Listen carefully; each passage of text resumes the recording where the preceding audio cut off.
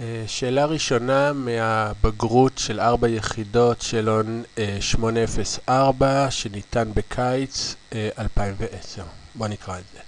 בחנות יש שני סוגי בדים, בד מסוג א' ובד מסוג ב'. המחיר של 4 מטרים בד מסוג א' גדול ב-135 שקלים מהמחיר של 3 מטרים בד מסוג ב'. לקוח קנה 3 מטרים בד, בד מסוג א' ו-4 מטרים בד מסוג ב' ושילם בסך הכל 382.5 שקלים. לפני הקנייה, מספר המטרים של, הבד, של בד מסוג א' שיש בחנות שווה למספר המטרים של הבד מסוג ב'. המחיר של כל הבד מסוג א' שיש בחנות גדול ב-396 שקלים מהמחיר של כל הבד מסוג ב'. אוקיי, אז uh, המון פרטים וקצת קשה לזכור את הכל. בואו נראה מה שואלים אותנו. מצא את המחיר של מטר אחד של בד מסוג א' ואת המחיר של מטר אחד של, uh, של בד מסוג ב'. אוקיי, אז איזושהי שאלה בעצם באלגברה ש, של משתנים שאנחנו לא יודעים את הערך שלהם ואנחנו צריכים לגלות. אז הקושי הראשון הוא להחליט מה, מה המשתנים שלנו, ובדרך כלל הבחירה הכי טבעית והכי נכונה זה פשוט, המשתנים זה מה שאנחנו רוצים לדעת, מה ששאלו אותנו. אז בואו נראה, אנחנו צריכים לדעת את ה... כמה עולה מטר מסוג א' ומטר מסוג ב', וזה נראה בחירה טובה פה, אז בואו ננסה. אז בואו נבחר משתנה אחד, נקרא לו x, אה, זה מחיר, אה, מאוד, מאוד חשוב לרשום מה המשמעות של כל משתנה שאתם בוחרים. מחיר מטר אה, בד מסוג א', ו-y יהיה אה, מחיר מטר בד בד uh, מסוג ב'. יש לנו x ו-y. עכשיו נקרא את השאלה מההתחלה וננסה לתרגם את זה למשוואות. המחיר של 4 מטרים מסוג בד א', אז מחיר של 4 מטרים מסוג בד, בד א' זה 4 כפול um, המחיר למטר, זה 4x בעצם, זה המחיר של 4 מטר מסוג א', גדול ב-135 שקלים מהמחיר של 3 מטרים בד מסוג ב'. שלושה מטרים בד מסוג ב' זה שלושה y. עכשיו, זה גדול מזה ב-135. זה אומר שצריך להוסיף לזה 135 שקלים בשביל לקבל את הערך הזה. כלומר, המחיר של 4 מטרים מסוג א' שווה למחיר של 3 מטרים מסוג ב' ועוד 135. אז משוואה אחת כבר יש לנו. עכשיו יש לנו כאן איזשהו סיפור על לקוח. לקוח קנה שלושה מטרים בד מסוג א', זה שלושה x, שלושה מטר מסוג א', והוא קנה עוד, הוא שילם עוד על ארבעה, ארבעה y. ארבעה מטר אה, מסוג ב', זה המחיר שהוא צריך לשלם על הארבעה מטרים האלה. אה, וסך הכל, אם אני סוכם את הסכום שהוא שילם על כל סוג של בד, הוא שילם 382 וחצי. 382 וחצי. אז כבר יש לנו שתי משוואות בשני נעלמים, זה דבר שאנחנו בעיקרון יכולים לפתור אותו.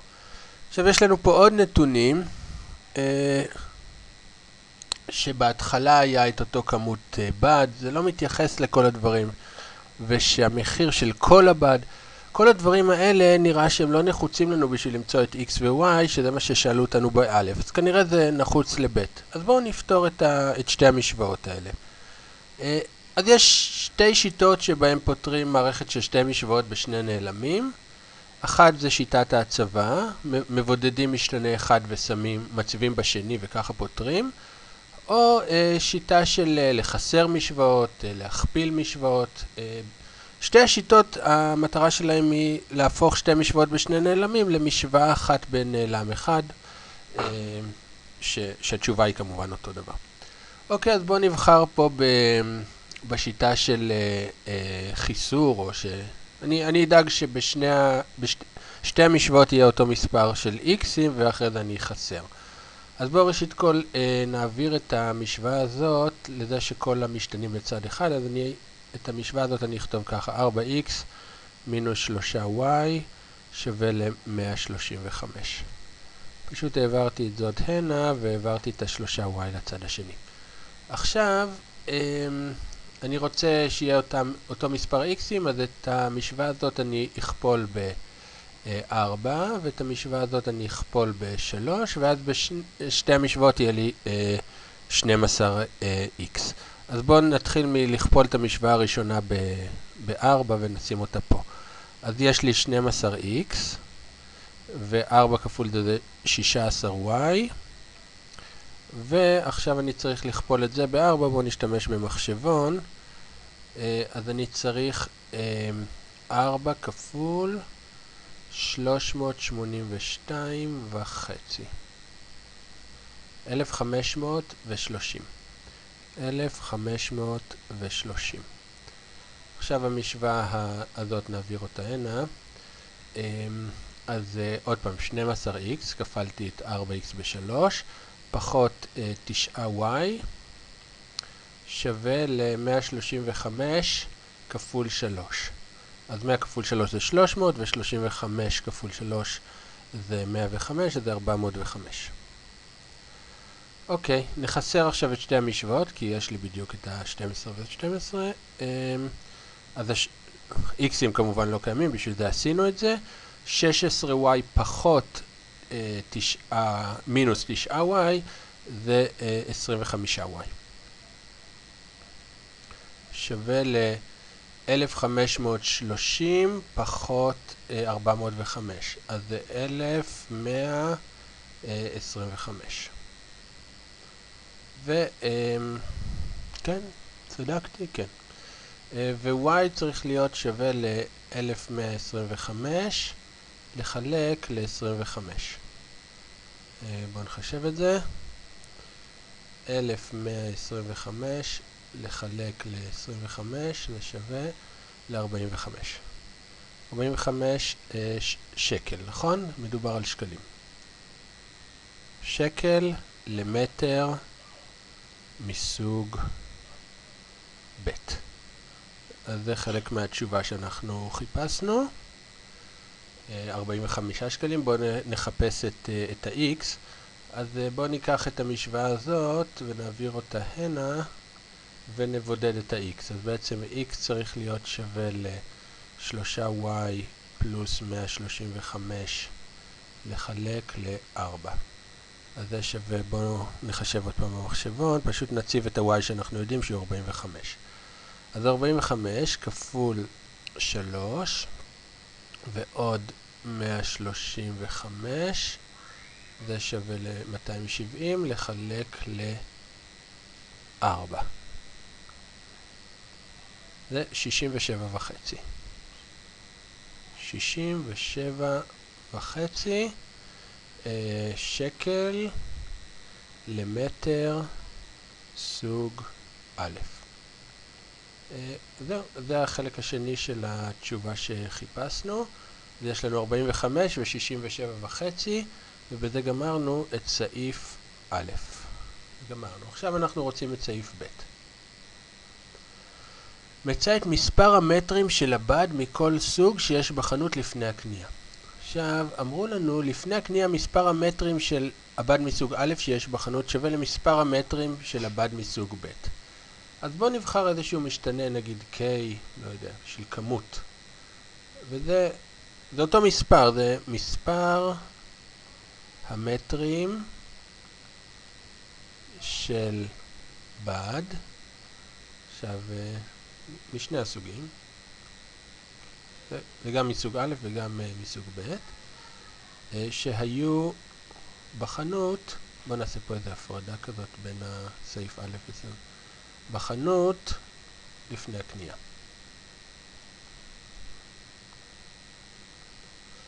Um, אוקיי, אז uh, מה אני יודע? אני יודע שהמחיר של כל סוג, אוקיי, מחיר של כל הבד מסוג א' שיש בחנות גדול ב-396 שקלים מהמחיר של כל הבד מסוג ב'. אז המחיר של כל הבד מסוג א', אז זה 67, 67 וחצי שקלים למטר. כפול מספר המטרים שיש, זה K, אותו אני לא יודע, צריך להיות שווה ל-45 כפול אותו K, כלומר זה, המח... זה המחיר של כל הבד מסוג uh, ב', ואני צריך להוסיף לזה עוד 300, 396. אז בואו נכתוב, כאן זה ה, בעצם המחיר, מחיר אה, כל סוג א', נכון? והדבר הזה זה מחיר כל סוג ב', כל סוג אה, ב', וההפרש ביניהם הוא 396 שקלים, ברור שזה יהיה יותר, אה, כלומר שהמספר הזה יהיה יותר גדול מהמספר הזה וצריך להוסיף לזה. אוקיי, אז זה משוואה פשוטה שצריך לפתור. בואו נפתור אותה. אז uh, נעביר את ה-K'ים לצד הזה, יש לי בעצם 67 וחצי פחות 45 זה 22 וחצי, 22 וחצי K שווה ל-396, K שווה ל-396 לחלק ל-22 וחצי. אז uh, כמה זה? 396 לחלק ל-22 וחצי. 17.6 אה, מטרים של בד. אז זאת התשובה. 17.6 מטרים של בד. עכשיו, אה, זה, זה הפתרון של השאלה בבגרות, אבל אה, יש איזה, כרגע שאנחנו מתכוננים לבגרות, יש איזה דרך אה, לבדוק את עצמנו, אם לא טעינו נגיד בפתרון של המשוואות האלה. אז יש אתרי אינטרנט שיכולים לפתור לנו אה, מערכות משוואות, כי זה בסך הכל משהו מאוד טכני. אז בואו נסתכל על אתר כזה. אחד האתרים שעושים את זה טוב זה וולפרם אלפא. אני, אתם רואים, אה, כאן זה הכתובת שלו, wolframalpha.com. ובשביל לפתור מערכת משוואות אני פשוט כותב uh, solve, לפתור באנגלית, ואני נותן לו בסוגריים מרובעים את מערכת המשוואות שלי. אז משוואה אחת הייתה uh, זאתי, uh, 4x שווה ל-3y uh, ועוד 135, והמשוואה השנייה הייתה 3x uh, ועוד 4y שווה ל-382.5. אני סוגר את הזה ולוחץ Enter. אמ, אני מסתכל, אז הוא אומר לי שאלה המשוואות שרציתי לפתור, בסדר, והפתרון שלהם זה, אה, בואו נראה, 45 ל-y זה כמונו, ומה לגבי ה-x? הוא אומר 135 לחלק ל-2 שזה בעצם 67 וחצי. אז אנחנו מסכימים ואנחנו רואים ש, שבאמת, אה, לפחות הפתרון של מערכת המשוואות הוא היה נכון. אה, הוא לא אומר לנו כמובן אם המשוואות הן תרגום טוב של השאלה. אה, הוא גם מראה לנו מבחינת גרפית ש, שזה חיתוך של שני קווים. בכלל האתר הזה יכול לפתור שאלות גם הרבה הרבה יותר מסובכות.